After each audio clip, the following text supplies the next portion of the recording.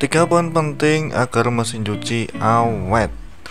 Mesin cuci untuk rumah tangga sekarang sudah menjadi kebutuhan pokok bagi ibu-ibu rumah tangga ya. Di mana praktis dalam proses mencuci pakaian serta menghemat waktu. Di mana pekerjaan rumah yang lain dapat dikerjakan seiring mencuci pakaian dengan mesin cuci. Namun tak sedikit yang mengeluh tentang mesin cucinya yang mudah rusak Nah pada kesempatan kali ini saya akan menyampaikan tiga poin penting agar mesin cuci awet dan tahan lama bisa dipakai sepanjang waktu ya. Untuk nomor pertama, mesin cuci memerlukan air bersih dan bertekanan sedang. Sebagian banyak mesin cuci memerlukan air yang bersih ya dan bertekanan sedang juga agar dapat lancar sewaktu mesin cuci memerlukan air.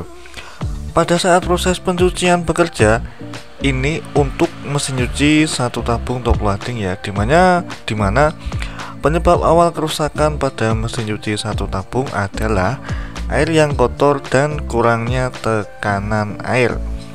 Apabila pada saat proses mencuci air tekanannya kurang, akan memperlama proses pencucian dan terkadang mesin cuci akan menunjukkan kode tertentu yang mana kode itu memberitahu pengguna bahwa tekanan air kurang pada inlet. Dan apabila itu terjadi terus-menerus maka kemungkinan besar mesin cuci akan mengalami kerusakan atau masalah.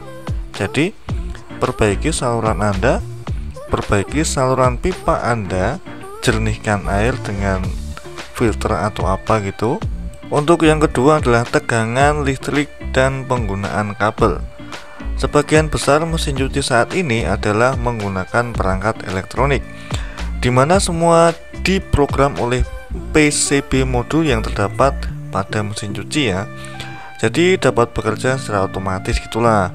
Apabila suplai tegangan dari sumber listrik tidak memenuhi standar 220 volt, maka mesin cuci dapat mengalami kerusakan pada bagian PCB modulnya. Jadi pastikan tegangan listrik Anda sesuai standar listrik PLN dan juga yang tidak kalah penting adalah penggunaan kabel. Jangan asal-asalan dalam menentukan jenis kabel yang akan Anda gunakan untuk keperluan mesin cuci Anda ya.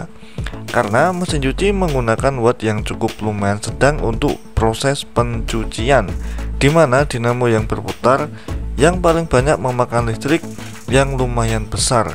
Jadi usahakan penggunaan kabel pada mesin cuci Anda ukuran 3 x 075 kalau bisa minimal gitu ya ke maksimal 3 kali dua setengah nggak apa-apa. Pilihlah kabel yang terkenal contohnya kabel Ethernet dan kabel Supreme itu udah cukup mumpuni untuk penggunaan mesin cuci Anda ya kemudian yang terakhir adalah nomor 3 tempatkan mesin cuci pada lantai yang datar dan tidak boleh miring. Untuk Anda yang saat ini meletakkan mesin cuci pada posisi miring, itu tidak saya sarankan. Karena mesin cuci pada saat proses pengeringan akan berputar dengan cepat dan apabila tempat atau lantai Anda tidak stabil atau tidak datar, maka yang terjadi adalah mesin cuci akan trouble balance. Mesin cuci akan bergetar hebat dan karena kecanggihan mesin cuci dan model sekarang di mana sudah terdapat sensor balance yang akan menghentikan proses pencucian ketika terjadi trouble balance. Jadi ketika terlibat gitu, maka mesin cuci akan mati sendiri atau merestart atau memulai pemrograman awal. Mungkin Anda pernah mengalami di mana mesin cuci Anda pada saat proses pengeringan eh malah berhenti sendiri ya. Nah itu kemungkinan disebabkan karena lantai yang miring atau pakaian yang kurang merata. Jadi apabila hal ini terus menerus terjadi pada mesin cuci anda itu lambat laun akan merusak mesin cuci anda sendiri ya. Jadi perhatikan kemiringan lantai anda kalau bisa datar ya jangan sampai miring. Jadi itu adalah tiga poin penting yang dapat anda terapkan pada mesin cuci Anda agar tidak mudah rusak pada saat digunakan dalam jangka panjang ya. Oke dan mungkin sekian dulu video kali ini. Semoga bermanfaat. Terima kasih telah menonton. Selamat malam. Jangan lupa like apabila kalian menyukai video seperti ini jangan lupa subscribe apabila video ini bermanfaat untuk anda. Oke sampai jumpa.